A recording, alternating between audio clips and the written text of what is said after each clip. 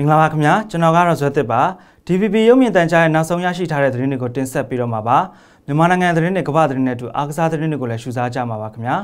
AR တိုင်းမြောင်မြို့နယ်ကတော်လိုင်းအဖွဲ့ဝင်တွေရဲ့မိသားစုဝင်တွေကိုစစ်ကောင်စီတပ်ကဖမ်းဆီးပြီးတော်လိုင်းအဖွဲ့ဝင်တွေကိုအကြက်ကင်အလင်းဝင်ခိုင်းခဲ့တယ်လို့တော်လိုင်းအင်အားစုတွေကပြောပါတယ်။ ပြီးခဲ့တဲ့ဇန်နဝါရီ28ရက်မှာ ARV တော်လန်တပ်ဦး ARF အဖွဲ့ဝင်၄ယောက်ရဲ့မိသားစုဝင်တွေကိုစစ်ကောင်စီတပ်ကဖမ်းဆီးခဲ့ပြီးတဲ့နောက်စစ်ကောင်စီရဲ့ဝါရဖြန့် Telegram Channel တွေမှာ PDF အဖွဲ့ဝင်အမျိုးသား၄ယောက်လက်နက်တွေနဲ့အတူအလင်းဝင်လာပါတယ်။ ARF အဖွဲ့ဝင်၄ယောက်ရဲ့မိသားစုဝင်တွေကိုဖမ်းဆီးအကြက်ကင်တဲ့အတွက်သွားဖမ်းခံတာကိုအလင်းဝင်နေဆိုပြီးစစ်ကောင်စီကဝါရဖြန့်တာလို့ ARF တာဝန်ရှိသူတယောက်ကပြောပါတယ်။ အလင်းဝင်တယ်လို့ဖော်ပြခံရတာ၄ယောက်ရှိက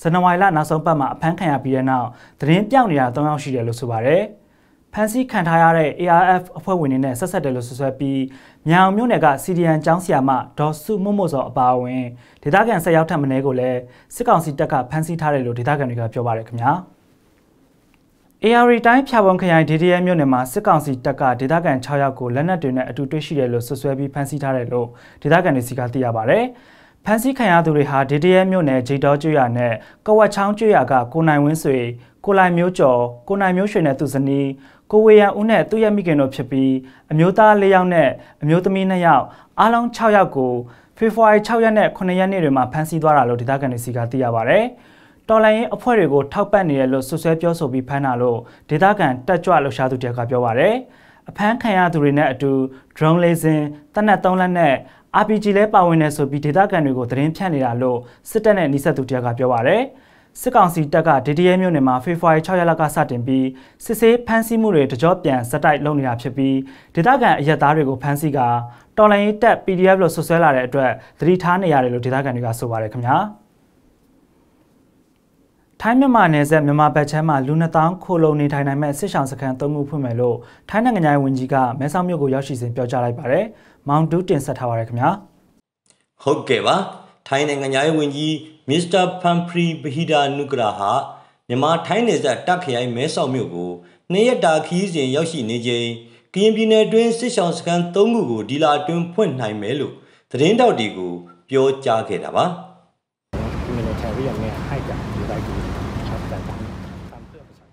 နေဆက်မြန်မာဒုက္ခသည်တွေအတွက်လူသားချင်းစာနာထောက်ထားရေးအကူအညီတွေပေးဖို့ကျွန်တော်တို့ရပိုင်းအတွင်းအာဆီယံစည်းဝေးကအစပြုခဲ့တာပါဒီစည်းဝေးကိုမြန်မာကိုယ်စားလှယ်လည်းတက်ရောက်ခဲ့ကြောင်းထိုင်းနိုင်ငံသားဝန်ကြီးကပြောသွားခဲ့တာပါဒါပေမဲ့လည်းဒုက္ခသည်စခန်းတွေကိုဘယ်နေရာတွေမှာဆောက်လုပ်မယ်ဆိုတာကိုတော့အတိအကျပြောမသွားခဲ့ပါဘူးဒီဖိုင်นะครับสมผู้ลี้ภัยนั้นก็หมายความว่าဒါအပြင်ထိုင်းဝန်ကြီးကဒီစစ်ဆောင်စခန်းတွေမှာနေထိုင်သူတွေအတွက် လူသားချင်းစာနာထောက်ထားမှုအကူအညီတွေပေးရေးအစီအစဉ်ရရိတ်ခါစည်းဝါးတွေကိုထိုင်းနဲ့မြန်မာနှစ်ဖက်ကြက်ချင်နေသေးနေချိတ်ဆက်ပြီးမြန်မာထိုင်းမြောက်ရီမဲဆောက်ချစ်ကြည်တရားအမှတ်2ကတဆင့်ပို့ဆောင်သွားမယ်လို့လည်းပြောခဲ့ပါသေးတယ်။ထိုင်းဝန်ကြီးရဲ့နေဆက်စခန်းတွေပြုလုပ်မဲ့အစီအစဉ်တွေပေါ်ဝေဖန်သူတွေလည်းရှိနေကြတာပါ။နေဆက်တခြားမှာရှိတဲ့ IDP ကဆိုရင်ဟို9သိန်း5000 9သိန်း5000ရဲ့ 8ရာခိုင်နှုန်းပဲဒီနေဆက်မှာရှိတယ်။ထိုင်းတွေကဒီနေဇက်ကိုသူတို့မှပဲသူတို့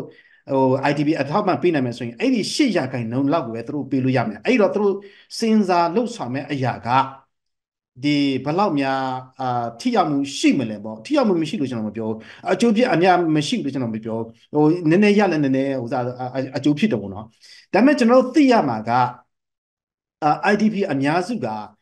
အာကြောက်ကြီးညောင်လေးပင်တို့ဒေသမျိုးတွေဘီလင်းကြိုက်သူမျိုးဒေသမျိုးတွေတောင်ငူမျိုးတို့မျိုးဒေသတွေလှိုင်းပွဲတို့အမ်အဲ့ဒီမှာတွေပြီးတော့ဒီဟိုတက်မှာ6ဆိုရင်လည်းအာဒေါနတ်တောင်ရဲ့အနောက်ချမ်းမှာဟိုရွှေ့ပြောင်းနေထိုင်ပြီးလွှားနေရတဲ့သူတွေရှိကိုထိုင်းဘက်ကဘယ်လိုလုပ်ပြီးတော့ရောက်သွားနိုင်မလဲအဲ့ဒါကတကယ်ကိုအာမေကွန်ကြီးတစ်ခုပေါ့နော်မကြသေးခင်ကပဲထိုင်းနိုင်ငံကြီးဌာနက မြန်မာနိုင်ငံဗချောင်းကိုစစ်ကောင်စီနဲ့တွားရောက်တစ်ဆုံဆွေးနွေးခဲ့ရမှာစစ်ကောင်စီဘက်ကလည်းဒီလိုလူသားစာနာအကူအညီတွေပေးဖို့သဘောတူခဲ့တယ်လို့ထိုင်းဝန်ကြီးကပြောသွားခဲ့တာပါကဲ၍သာဒီနေဆက်မှာရှိတဲ့အာကျွန်တော်တို့ဒီ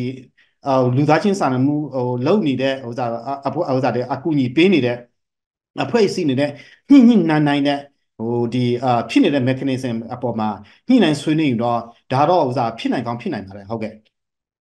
အကူအညီပေးရေးမှာမြန်မာချက်ချင်းညီဘွဲ့နဲ့ဆက်သွယ်လုပ်ကံရမှာနဲ့ပတ်သက်လို့လဲချက်ချင်းညီဘွဲ့ဟာမြန်မာစစ်တပ်လက်အောက်ခံဖြစ်တာကြောင့်အကူအညီတွေဟာလိုအပ်သူတွေစီတကယ်ရောက်ပါမလားလို့သတင်းတောက်တွေကမေးခွန်းထုတ်ခဲ့ကြပါတယ်။ဒါပေမဲ့လည်းထိုင်းဝင်ကြီးကတော့